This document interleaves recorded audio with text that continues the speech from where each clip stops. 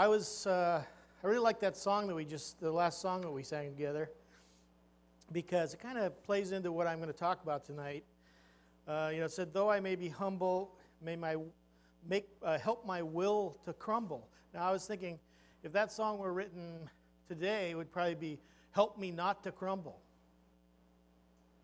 wouldn't it? That was that song was written quite a long time ago, and they had the right attitude. My will needs to crumble because my will is the thing that's getting in the way most of the time. And this has been our problem all along. I'm, I'm doing a Bible study right now, and um, it's on basically sort of worldview. And it's kind of based on this verse from Romans 12 2. And I'll wait till it comes up. Well, maybe I won't. Romans 12 2, though, if you got your Bible. Do not conform to the pattern of this world. Be transformed by the renewing of your mind. Then you'll be able to test and approve what God's will is, his good, pleasing, and perfect will. This is something the Lord starts in us when we're born again. The very first thing he has to do after he gives us a new spirit is to renew our minds because our minds are already messed up. And they get further messed up as we live our life in our culture, in our world. We get away from what the Lord really wants from us.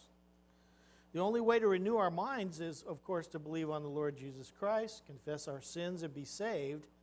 Then to study the written word and allow the indwelling Holy Spirit to teach us. He's our teacher. Our minds are corrupted by virtue of the sin nature and what we've learned in life because our filter basically is off. It's not filtering properly. And I gave an illustration of uh, filter uh, to our Micronesian folks and talked about straining, a, straining coconut to make coconut milk. You have to grate it up, and then you strain it, you press it into this sieve, and it comes out coconut milk on not coconut juice, coconut milk on the other side. You guys know that. Well, you know, if you use like a one inch screen to do that process, you're not going to get real coconut milk. You're going to get everything passing right through. Uh, even if you used a quarter inch screen, the same thing would happen. Uh, you have to use a fine screen in order to separate the milk from the leftover. Well, you know what? That's what we need to know what's going on in this world. Our filters are off. And the very first thing that God begins to do is correct our worldview. Because you know what? If your worldview's off, you won't understand God's reality. That's the problem we have today. People's worldviews are off. I like the word, word worldview, even though it's kind of a technical term, but it's got the whole thing right there in the word your view of the world. If you're not viewing the world as God views it, uh oh. We need to learn to see things from God's perspective. And that's something we have to learn because we're not born with it. and as we go through life, our filters get further and further off. So that's why I started this study uh, that I'm doing now, sort of on bigger issues by going back to an original problem. And that original problem is found in 2 Thessalonians 2 9 through 12, believe it or not. This is actually talking about the Antichrist. But it says the coming of the lawless one will be in accordance with how Satan works. He will use all sorts of displays of power through signs and wonders that serve the lie, and all the ways that wickedness deceives those who are perishing. They perish because they refuse to love the truth and so be saved. That's a problem we have today. For this reason, God sends them a powerful delusion so that they will believe the lie. And so that all uh, will be condemned who have not believed the truth but have delighted in wickedness. Now, this verse in various translations can also be translated they will believe falsehood or what is false. But most of the translations actually say they will believe the lie. Ooh. This has always been an interesting passage to me. What is the lie that's talked about in verse uh, 9 and also in verse 11? What are the, are the ways that wickedness deceives those who are perishing? Deceives. And how long has this been going on, or does it only happen at the coming of the lawless one? In what way does the lie cause those who do not believe the truth to delight in wickedness? Those are questions I want to answer briefly. But does anybody know? Have any idea what the lie is? Anybody know what that is? The lie? What's that? Well, that's part of it. Well, let me put it this way Who came up with this lie to begin with? Ah. And what was that lie? The, I'm not talking about a whole bunch of lies he told Adam and Eve. I'm talking about the big one. I always call it the big lie. Which one was that? He wanted to be like God. You will be like God. Woo! That's what Satan came up with. And by the way, he came up with that long before Adam and Eve. He came up with it in the third heaven. Well, to briefly answer these questions, the lie of Genesis 3 5, we will look at that in a moment. But I, I, believe that if this verse were only specifically talking about the lie that the Antichrist tells, which he tells the same lie, he says, I'm God, then it probably would have been said like this they will believe his lie. But instead it says, they will believe the lie. Notice that the passage said, says, wickedness deceives those who are perishing and not those who will perish. So apparently it's going on already under the rule of the Antichrist. So apparently the lie has been affecting mankind for a long time because the, the phrase are perishing is present tense. And this was written by Paul, guided by the Holy Spirit. Also, the fact that the lie causes men to delight in wickedness also seems to indicate that this is not simply talking about the time of the Antichrist, but all those who believe the lie and do not believe the truth. Uh oh, we've been caught in a lie, haven't we? And this lie has affected every aspect of life. That's why I want you to think about this. Because once you grab onto this and you begin to see how this affects everything, it will change, radically change your worldview. Now, there have been many varying interpretations of this passage, and I looked at a bunch of them in the commentators. And basically, I agree with all of them. They all have a point. Um, John Gill focuses on uh, this is pointing toward basically the Pope, the vicar of Christ, supposedly, who's basically summing up what the Antichrist is going to be all about. And I think he's right about that one. Anybody who claims to be Christ some state more generically that those who reject the truth are rejecting who Christ is. That's absolutely true. J.B. Phillips says that the lie is that the Antichrist claims to be God. Yes, absolutely. It's part of it anyway.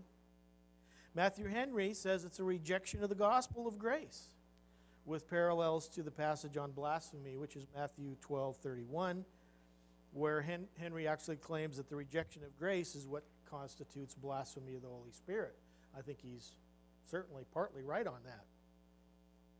Matthew Poole names a number of lies that this could be talking about, such as lying wonders, false doctrines, false prophecies, idols, as constituting this lie. But, and I think all of those are good explanations and they're all true. However, I think we have to even step back one more step to see what constitutes this lie. I've come to the conclusion that the lie, the lie, is a root cause, not a symptom like we're seeing in those explanations. So, where can we find out what this lie is? Well, of course, we have to go back to Genesis 3 5. The devil says, Leviathan says, For God knows that when you eat from it, your eyes will be opened, and you will be like God, knowing good from evil. In the Genesis account, we know that the serpent lied to Eve, and then she and Adam decided to disobey God. But the enticement was not so much the sight of the fruit, which would be the lust of the eyes, or the taste of the fruit, the lust of the flesh, but it was especially this false notion that they could be like God, which is the pride of life. And that knowledge of good, at the knowledge of good, which they already knew, by the way, they already knew good. He lied to them. Oh, you'll know good and evil. Well, they already knew God, good. Guess what they got? They got evil. Wow, and what a price they paid. The pride of life temptation of Satan has always been the strongest appeal to the free will of man. All of those other things, they always lead up to the pride of life. That's where he can get you. If you think that you're in the place of God, that's where he can get you. The devil uh, also tempted Jesus with these three areas, as we've studied before. And I'm going to list them out of order just so that I can make a point with it. Of course, the lust of the flesh temptation that Satan always uses uh, corresponds to Matthew 4 1 through 4. Then Jesus was led by the Spirit into the wilderness to be tempted by the devil, and after fasting 40 days and 40 nights, he was hungry. I've fasted for two weeks, and I was very hungry. Okay? The tempter came to him and said, If you are the Son of God, tell these stones to become bread. And Jesus answered, It is written, Man shall not live on bread alone, but on every word that comes from the mouth of God. By the way, every one of his answers is from Deuteronomy. That's Deuteronomy 8, 8 3 that he quoted. And, you know, he didn't fall for this. He was very hungry. But he told Satan that Man doesn't just live by bread alone, but by every word of God. Then he, then he went. Uh, then later he went for the lust of the eyes, which was uh, uh, Matthew four eight through eleven. Again, the de- devil took him onto a high mountain and showed him all the kingdoms of the world and their splendor. All this I will give to you, he said, if you will bow down and worship me. Jesus said to him, Away from me, Satan, for it is written, Worship the Lord your God and serve him only lust of the eyes. Appeal to the lust of the eyes. See all those kingdoms of the world. Was Satan lying to him? No. well, partly. half truth, half lies is what he always does.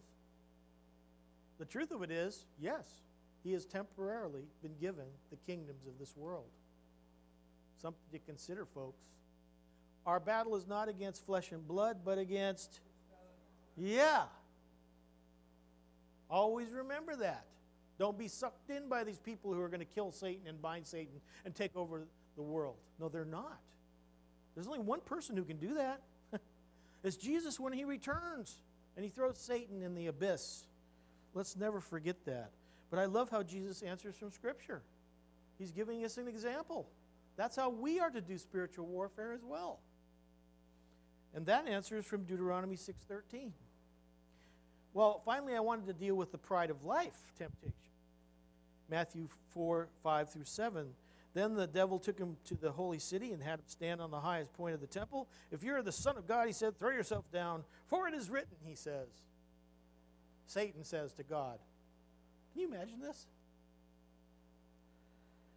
He will command his angels concerning you, and they will lift you up in their hands so that you will not strike your foot against the stone. That's Psalm 91 11 and 12.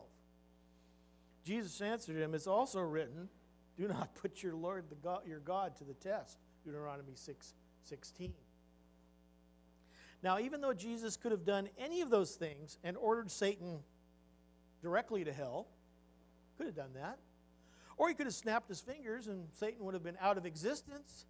Since Jesus holds everything together, I, I like what you said. What would happen if he's not reigning?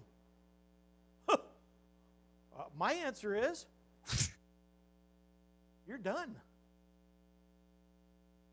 But he didn't do that, did he? He answered the enemy as an example for us from the written word each time. Notice after the first temptation, where the devil appealed to the lust of the flesh, since Jesus was very hungry and having been answered from Scripture, Satan then changes his tactic and misuses Scripture as his second temptation uh, toward the pride of life. After, he, um, after he's again rebuffed from the written word, um, uh, you know, he goes back to attempting to tempt Jesus on the basis of what he has been allowed to have that is, temporary dominion over the kingdoms of the world. By the way, yes, he has dominion. No, he could not give it back to Jesus. God gave it to him. What is, who does he think he is? I can give you all the world, all the nation. No, you can't.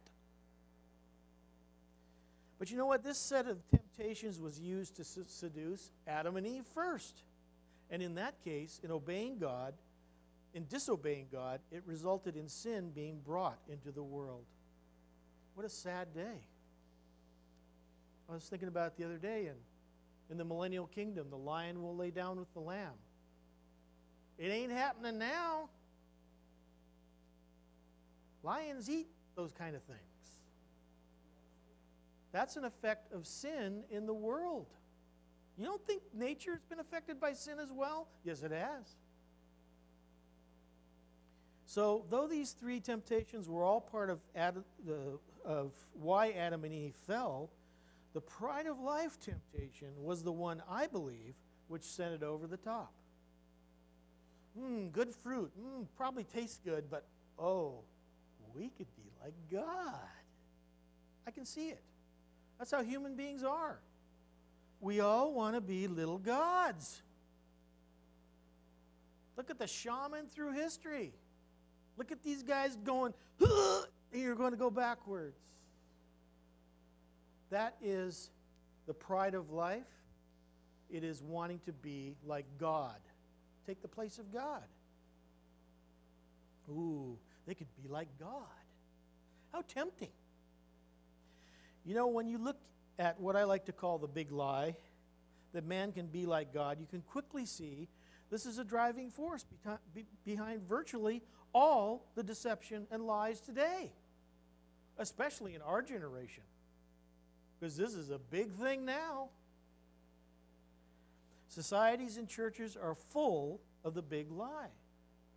Many people today have fully bought into the big lie and I believe that God is allowing this to happen to those who do not believe and do not remain in the gospel and remain faithful to Jesus Christ.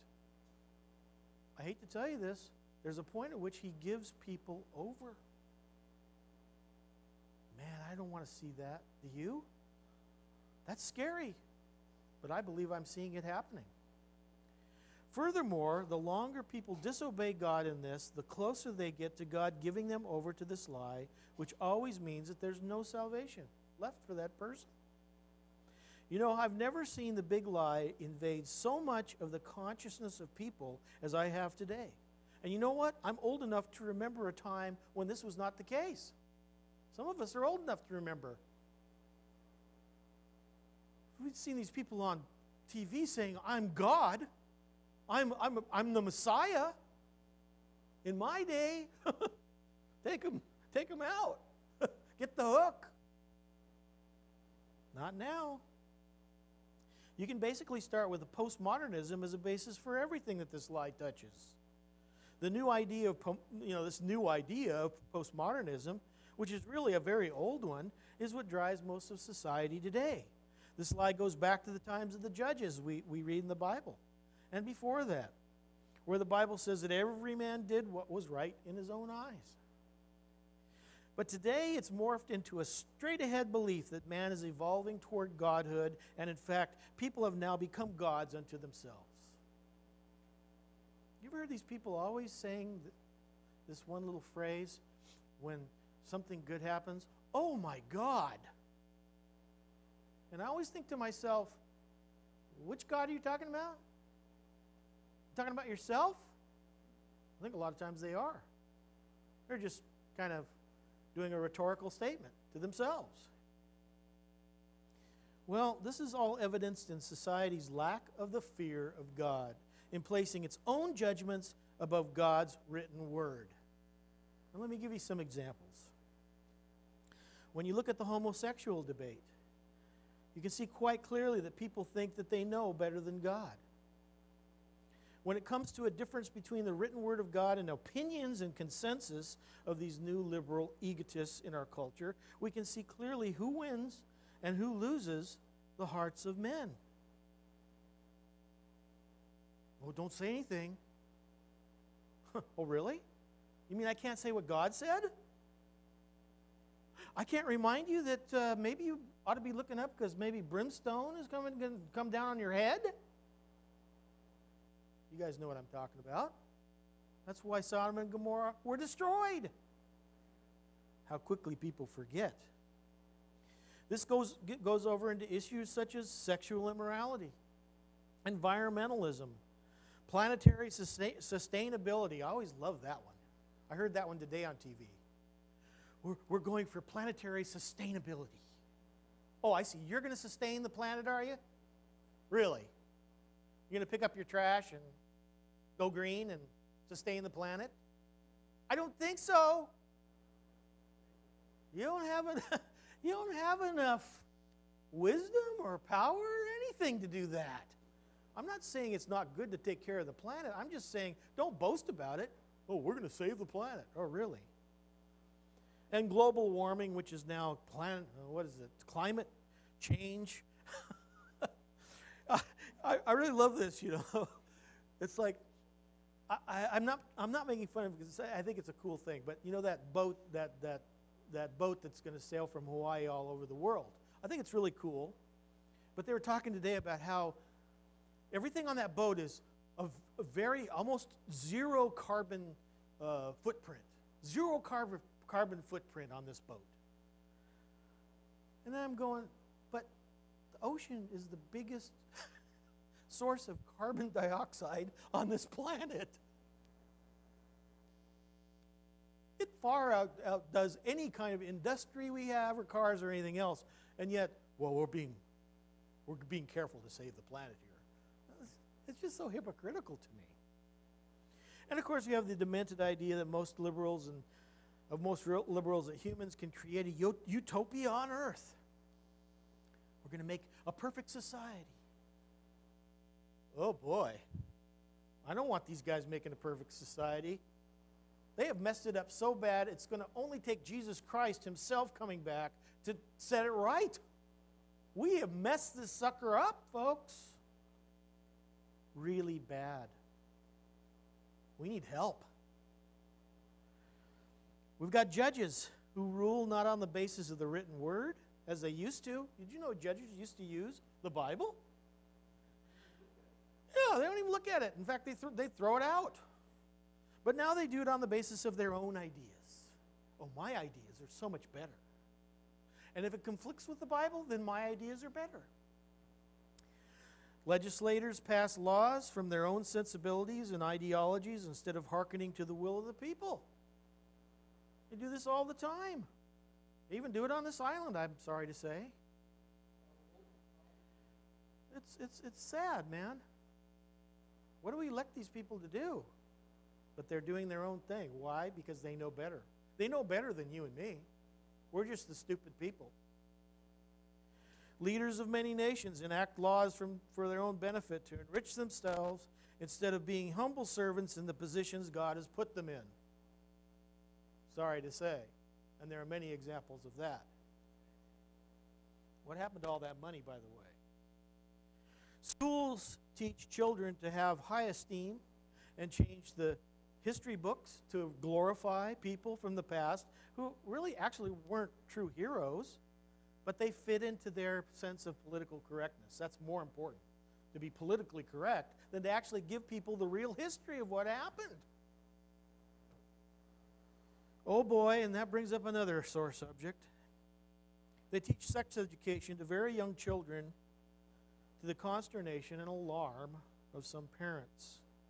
One example of that here in Hawaii is this new Pono Choices. In elementary schools, even. It's a sex education curriculum.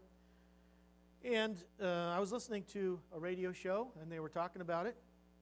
And the guy said that he found out that Basically, what they teach is that there are three legitimate human relationship alternatives homosexual, lesbian, and heterosexual. Homosexual came first. That's how they teach it. As one recent report stated, teachers in Hawaii in the public schools are to give these three alternatives, but to state that the least desirable alternative is heterosexual marriage. I have this document at home. It's unbelievable, folks. So, this one lady who had a kid in the class went up to the teacher and said, Can't you give a positive uh, example, any positive examples of heterosexual marriage? And he said, No, I can't do that. If I do that, if I go against the curriculum, I'll, I'll be kicked out, I'll lose my job. So I have to do it the way it's written down. All this to say, they've replaced God's will and God's plan and the very thing that can help the human race with this garbage. Rights and freedoms are being systematically taken away by governments and by leaders who believe that they are the anointed ones. The ones who are somehow, in their own minds, further along on the evolutionary scale toward godhood, and thereby can and should make decisions for those who are not so evolved. Or we're the unevolved people.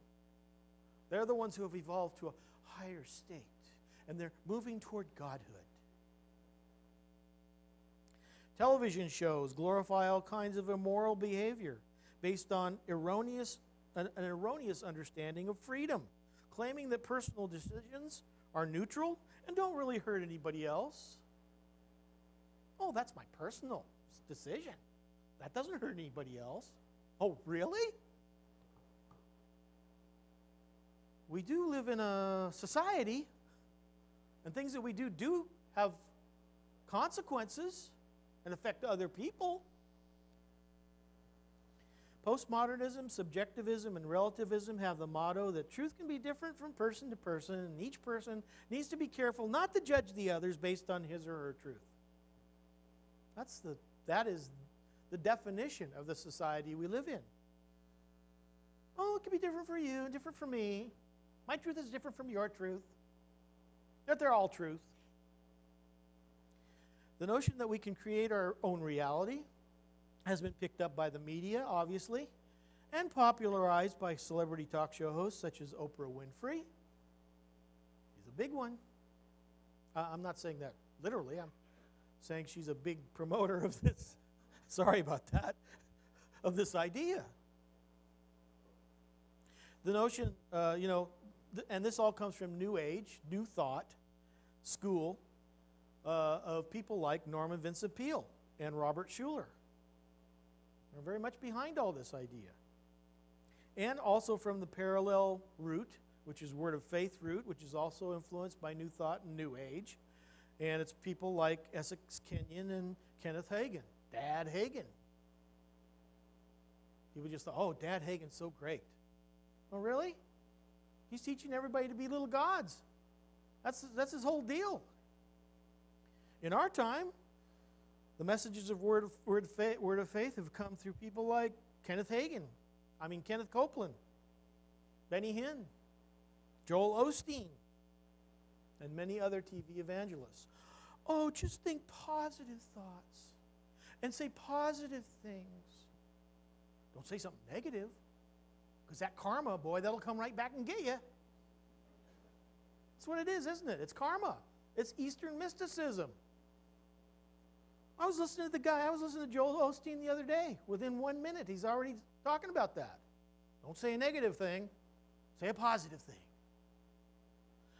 Well, what about you're a sinner in need of a Savior, and if you don't get saved, you're going to hell? Oh! Now I'm going to have negative things happen to me. So, you know what? This deluded idea was first invented by the devil himself while he was in heaven. Think about it. He was denying true reality in favor of his own manufactured reality. I will, he says. I will be like the Most High. What happened? Well, he got worshiped all right by a third of the angels, and they all got thrown off, thrown down to the ground. You know what? This whole thing has become the norm, not only in society, but also in many churches. I hate to say it. While in the past the idea that a person could create their own reality by speaking positive thoughts was laughable, today it's become part and parcel of the society that we live in. Robert Tilton says, just speak a new Cadillac into your driveway. Marilyn Hickey says, just look at your wallet and say, Wallet, you wallet, big fat wallet full of money. I command you to be full of money, you know. Does that work? In my day, that would have been grounds for the people in the little white coats to come and take you away to the rubber room. But now, people are actually believing it. Oh, yes. That's what I do all the time. This is off the point, but I always laugh at these guys on these television shows, especially on the cooking shows. Because some of them are humble people, but other ones are like, they've obviously listened to these people. And they're in there, I'm the best person in the world. I'm the greatest cook. Nobody can beat me. I'm going to beat everybody. You know what? They almost always lose, which always cracks me up. I'm like, see, it doesn't work, does it? But now, when television, uh, televangelists promise their followers that they all they need to do is send some money to them, and their positive action will result in great piles of cash coming back to their giver, these dopes actually believe it. oh yeah, okay, here. I have people send me money sometimes they probably do it to Mike too. I, I get, I get letters to like Benny Hinn and Kenneth Copeland. And lately it's been Reinhard Bonnke for some reason. I don't know why. But people will send me money. And I send the check right back to them. I say, Lucky I sent it back to you because otherwise you'd be out. If you send it to them, you get another letter asking for more. Well, you know what? This is because postmodernism mixed with Eastern mysticism has brainwashed most of us. We grew up in this society. That's what I'm saying. We have to have our minds renewed. But it all actually goes back to the big lie. More and more people, though they may not recognize it in themselves, are buying into the perception that they truly are little gods. Benny Hinn claimed numerous times on, on TBN that he was a little God, a little Messiah walking around. I'm just like Jesus Christ. He urged his followers at one crusade, I have it on video somewhere, and he's getting him to chant, I am, I am. Uh, Mike knows this. If you were in Israel and you started doing that, you'd be taken out back and stoned. Them serious words, man. Joel Osteen regularly and insistently preaches that positive thoughts and confessions bring positive results in people's lives, whereas negative thoughts and confessions will bring about negative consequences. Many people who have bought into the Word of Faith, New Apostolic, Emergent Church, and other movements that teach this stuff have had their lives ruined by these ideas. I, mean, I hate to tell you this, I have lots of emails from people who've just been killed. Their faith has been decimated by that kind of garbage because it's not biblical. It's not how the Lord works. I'm a firm believer in what the Bible says about the fact that there's a time and a place for everything. I won't read the whole passage, but a time to tear down and a time to build, a time to weep and a time to laugh, a time to mourn and a time to dance, etc. There's a time and place for everything. We're not supposed to be all happy-go-lucky, you know, just, uh, what's, this, what's the song? Be happy? Don't worry, be happy. Uh, if somebody's mourning, and I think about this lady that came tonight and wasn't able to come, she was mourning. We prayed with her. But, you know, sometimes you got to mourn with people. So there's a time and a place for everything a time to laugh, a time to mourn, time to embrace, time to refrain from embracing. We're not created in order to only have positive thoughts. We're certainly not created with the ability to create something out of nothing. That's called ex nihilo. That's what God does. And by the way, He's the only one that does that. Oh, we can create things out of something. We can make a clay pot, we can make electronic things. But we have to start with something to make something else.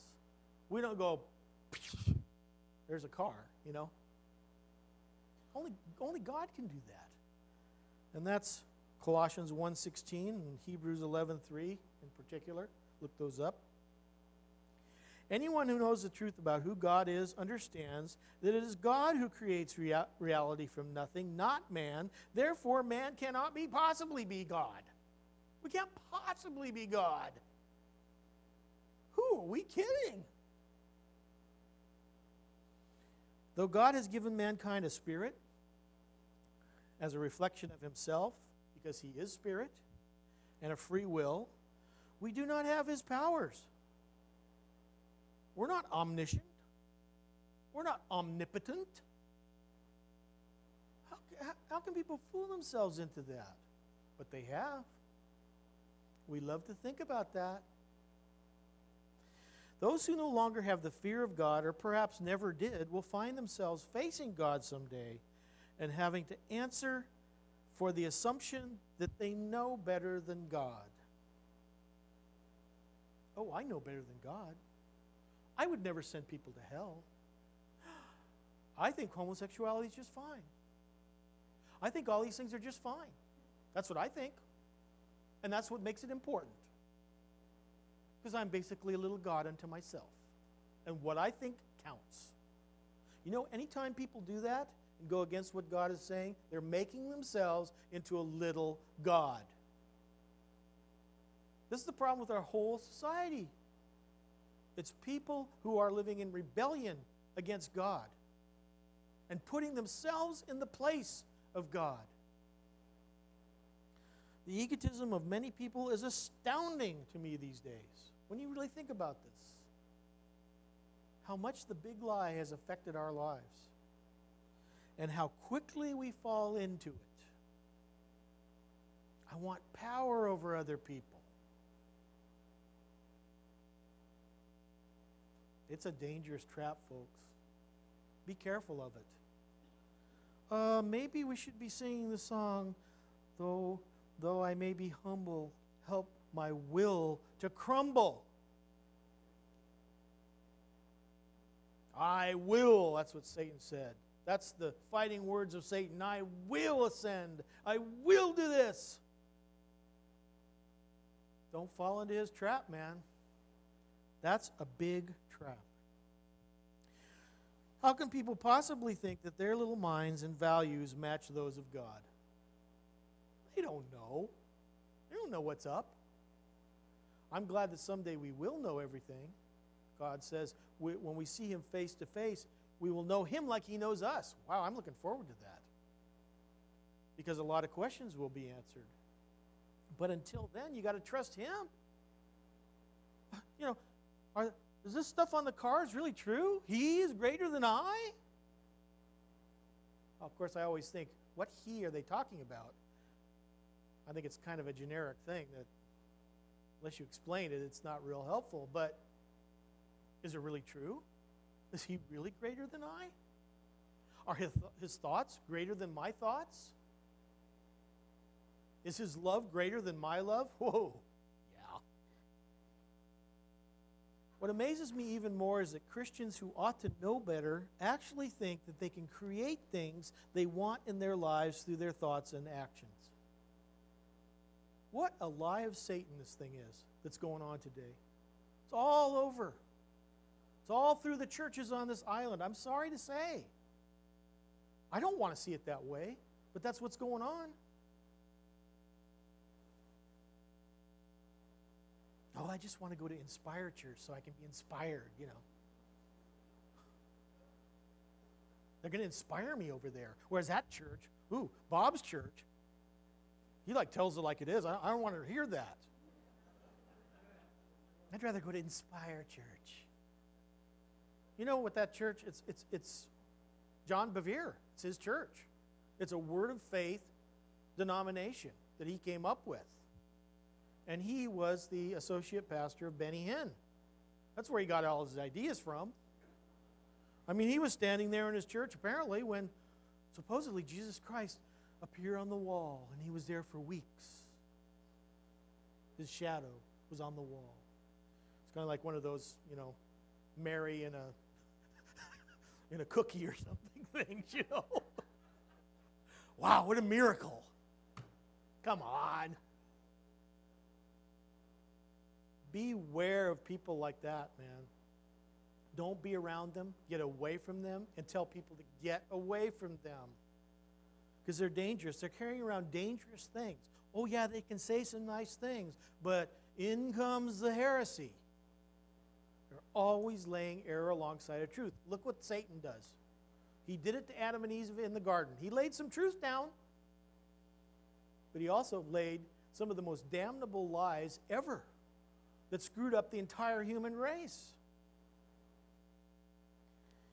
Well, you know what? This idea that you can create with your thoughts and actions is actually a direct denial of the gospel message, where we learn the reality that we're all sinners and we do not match up to the glory of God. We have to recognize that in order to be saved. Otherwise, why would we need God? If I'm God, why do I need God? It's a substitute for God. But apparently, many people have forgotten this, and they actually do think that they're already physically glorified now. This comes from the manifest sons of God, as well as other false doctrinal systems. Those guys actually believe and teach that we're going to be glorified while we're still alive, and uh, we will be uh, uh, eternal. We'll have eternal, our eternal bodies. I mean, I, I think they watch too many uh, Highlander episodes. You know what I'm saying? They're off, man. That's not going to happen until Jesus comes back and we're resurrected or we go to meet him in the air. They're not going to be living here and then all of a sudden I'm turning, oh, out of my way. I, I'm immortal. I don't know about you. Oh, brother. Of course, those who are truly born again are guaranteed glorification as the hope of the coming glory that we have in Jesus Christ. That's Romans 8:30.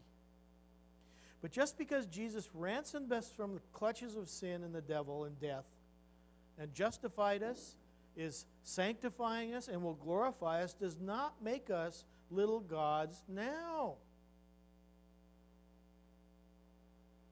Well, yeah, you can be a son of God. You can be a child of God. You can be his bride.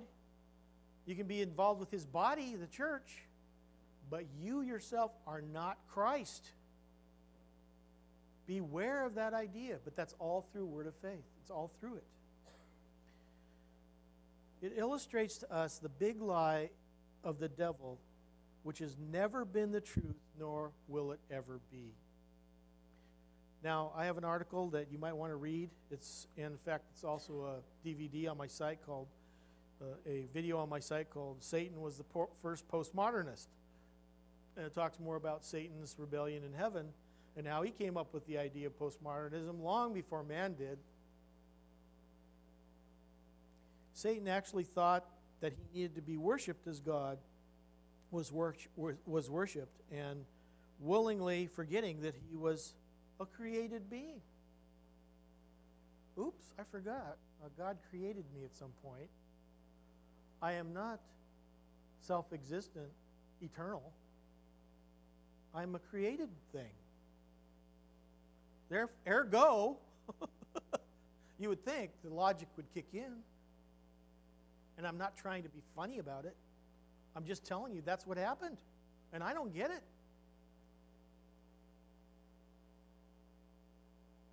The Bible says that men have also deliberately forgotten God.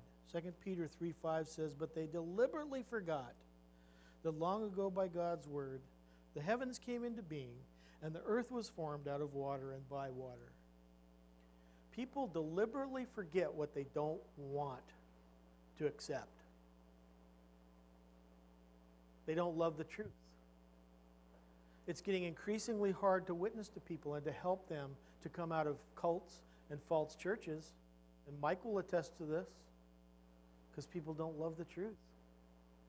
They won't even read an article.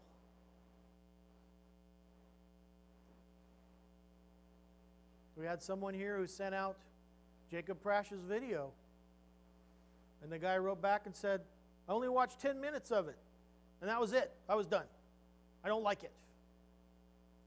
He needs to stop doing that. This is the attitude of people, though, today, you know? They don't want to actually consider the truth and think about it because they're afraid that it might change their point of view. I don't want to think about the flood. Well, now we got this big flood movie, which is a total garbage. It's new age garbage. And so they make a story, they make a fable out of it so people won't actually believe it. People don't want to believe it because if they believe it, they got to understand that there is a God and God does judge. hmm. Completely ruins the entire evolution debate. That one thing. Well, amazingly, Lucifer, or actually, he's not called Lucifer technically, he was called an angel of light, basically. But he did this while he was in the third heaven in the presence of God. So I guess it's not beyond the bounds of imagination to understand that men and women can, in the presence of God's intricately created world, which is ample evidence of Him, believe the big lie. They were all little gods. This is one of the things that's behind the false notions of people, false worldview. It's the thing that's gummed up our filters so that we can't see what God really wants for us. How do we fix that? Well, we don't fix that, God fixes it. But we've got to be students of this. If you're not a student of this, you're going to be just flowing around not knowing what you're doing. We have to use this in concert with the teaching of our precious Holy Spirit to be able to understand what's going on in this world. Because this is God's world, this is God's truth. Truth is not relative, truth is God's truth. And we've got to find out what it is and believe it and help other people with it.